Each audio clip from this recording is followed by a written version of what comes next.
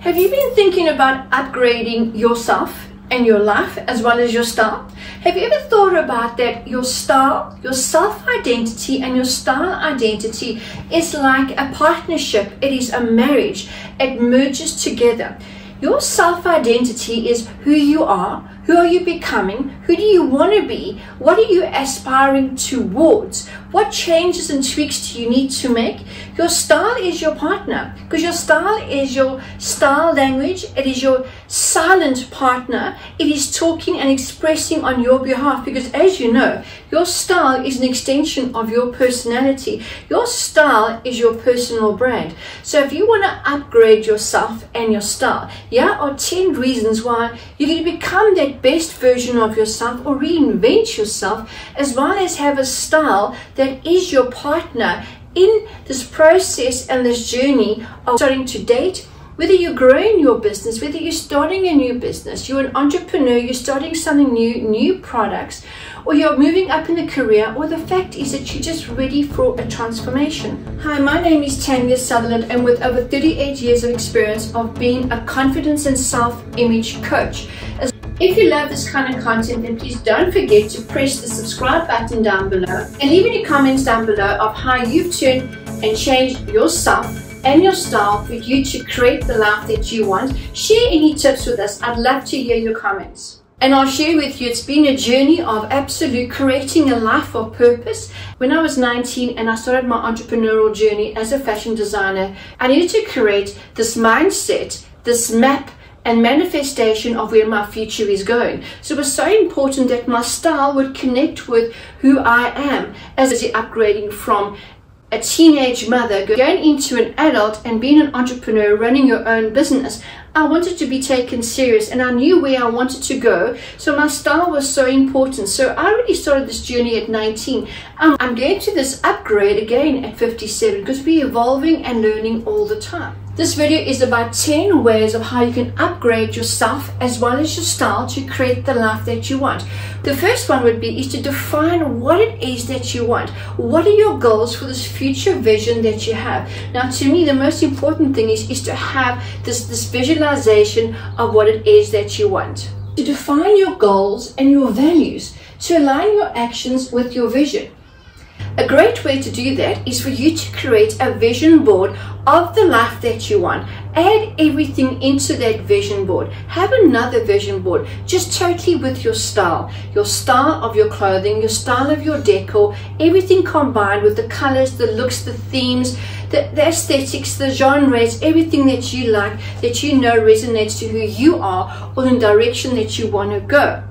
It's essential to know who you are, what it is you want, what are your goals, and you need to align them to your values. Do they suit you? Are they going to suit your future plans? And then the next step would be is what actions are you going to start implementing with this vision that you've got now the best vision for me i would say is to have a vision board of your life as well as your style that you really know what it looks like where you're going and how you're going to be dressed and how you're going to show up with this new vision that you have in your life. And of course, to make some time to invest in yourself as well as your level of education. So you might have an abundance of skills and experience behind you and maybe achieve many things, but perhaps there's one or two little things that you need to learn new skills to help you to create this vision, for you to follow this action plan of the goals that you are aspiring to. So have a look at your experiences, your skills, all those things you've accomplished through your life, are there any new skills that you need to learn for you to step into taking those steps of action that you can lead yourself closer onto that path with absolute intention and focus of what it is that you want? So perhaps you need to learn a new skill. So for example, you are starting a clothing collection. So maybe you would need to learn to sew because you would like to make the samples yourself or you are going to be working with seamstresses or employing seamstresses when you can afford that. So you need to know how to put a garment together, how to construct it. So maybe sewing might just be one of the skills that you need to learn Or you are starting to run your own business and maybe you need to learn some bookkeeping. So you need to understand the entire administration of how do you keep books and journals for your business, for the finance, the financials of your business. So this new skill is going to improve your expertise, your knowledge, as well as your self confidence. Because the more you know about something, the more you practice and the more you learn about that thing, the more you can implement it. And before you know it, it becomes quite natural. Just like when you first started driving a car, you're probably as nervous as hell. And now when you're climbing behind the wheel, it's so automatic if you are following a journey in your life and you are upgrading yourself and your style identity, it is so important to take much better care of yourself. It's about self love. So when you look in that mirror and you see that reflection you see the reflection of yourself, that woman in the mirror. You need to learn to love her and to appreciate her as part of your self acceptance. It's also so important to make time for yourself. That's self nurturing and self care. Listen to those words that you're saying in your mind, those inner conversations. Are they pleasant conversations? And are you using words that is gentle and kind to who you are? And now and again, I understand you might have to kick your own ass to say, pull yourself out of this rut or get over this, you know, feeling sorry for yourself or falling into victim mode mentality. I understand that.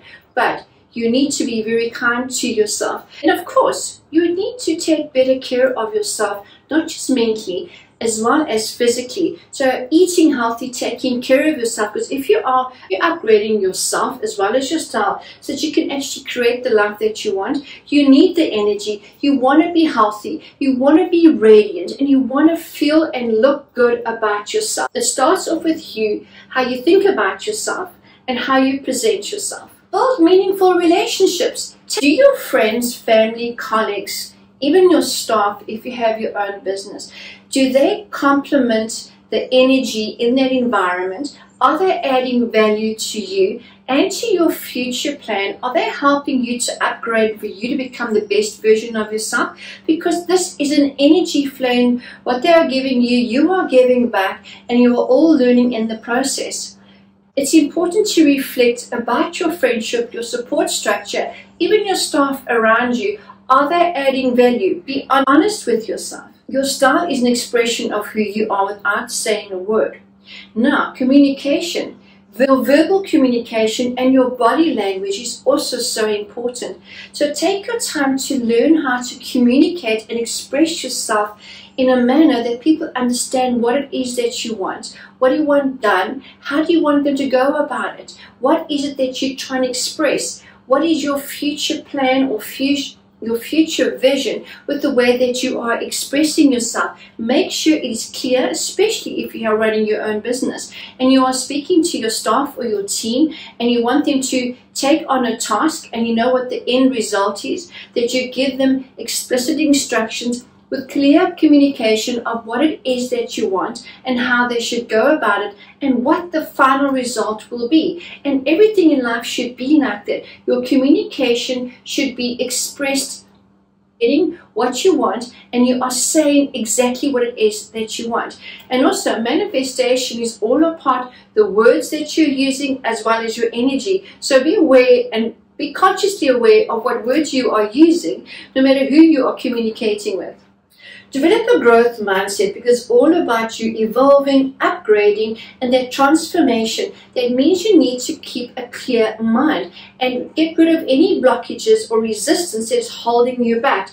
You need to be more flexible and more adaptable in the way you're thinking and also give things a chance around you. So you need to embrace the challenges and changes that are happening all around your life because life doesn't always just give us exactly what the list that we ask Sometimes there's some curveballs thrown at us, or whole new areas that we didn't even want to go into, or a different kind of job or career. But these are all part of your path of growing and learning new skills and experiences, and you are becoming adaptable. Maybe some of these experiences and places you don't like at all, but now you know what it is that you don't like. And life is about embracing challenges. Now we have a few failures, we have some successes, and yet what do we do? We tend to focus more on the failures. And I'm sure the failures are probably a little list like this, and sure that all the successes and all the rewards and things that you have achieved is probably a massive long list like like that. But yet we'll focus on the smallest thing where we made a total effort. Let go of that. Embrace and embark this new journey that you are on. Part of upgrading yourself is your style. You need to create a unique style that speaks for you, that is resonating to who you are, your aspirations, and your vision of where you are going.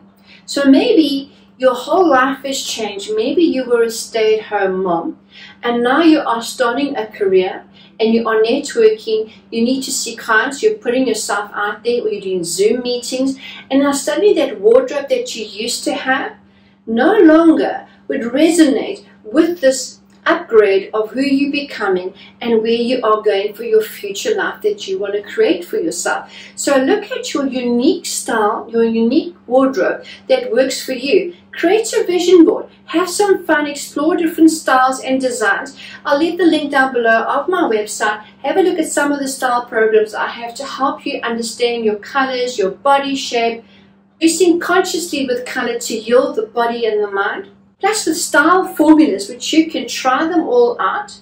Maybe you like them all.